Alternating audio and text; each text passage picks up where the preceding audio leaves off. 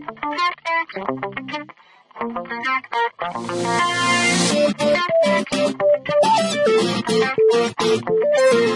you.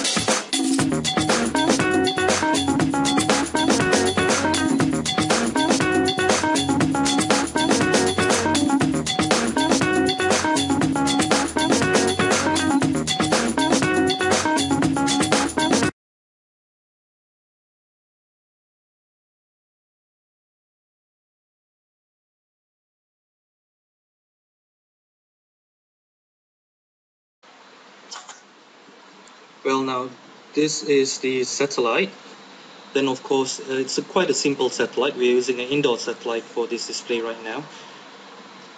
And this is the television that we are using to actually connect the satellite to.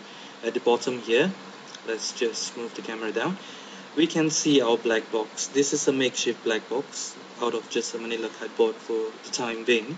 And inside this black box are things that we mentioned earlier, the repeater, the TV um, controller and things like that, especially to go is with the satellite.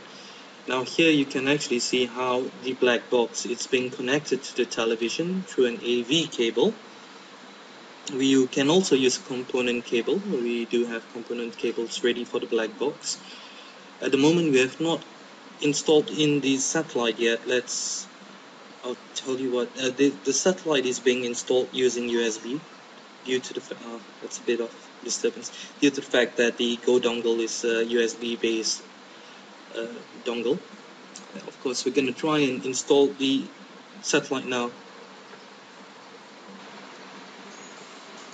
Now this is the screen of the TV after we have installed in the satellite and this is just a simple program. Uh, it's a free source program by SourceForge.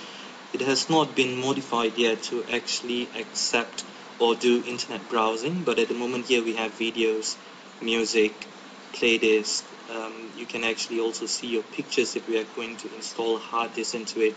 You can connect to internet radio you can check the weather um, things like that. It's it's quite a simple screen. Let's just see some certain things that it can do.